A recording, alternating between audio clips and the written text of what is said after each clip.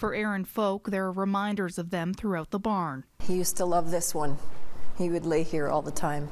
Daisy and Cujo's, the Folk family's livestock dogs' lives were cut short after both dogs were found with gunshot wounds to their face and body on October 2nd.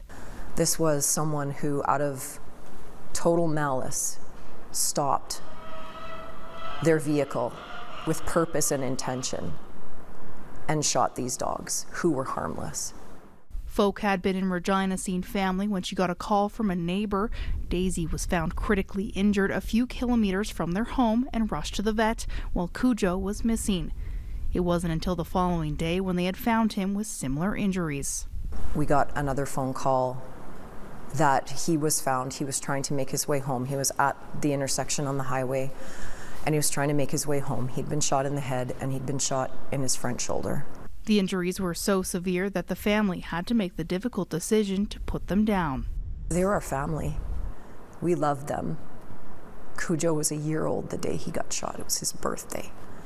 RCMP are currently investigating what took place near Highway 322, and the Folk family has offered up a cash reward to anyone with information. We're asking anyone with information about the incident or who saw anything suspicious in the area between about 9:15 and 10:15 in the morning on October 2nd to call police. Mark Strong, a counselor with the RM of McKillop, says the incident is unimaginable. We have lots of traffic moving around in this area at this time of year.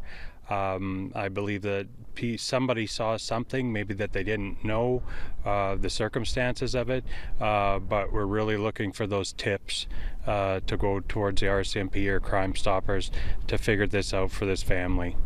As for Daisy and Cujo, the Folk family has since buried both of their furry friends on the property to honor their memory while they wait for justice. You know, it's just such a big piece missing. And uh, yeah, they were dogs, but they were very special to us. Sarah Jones, Global News.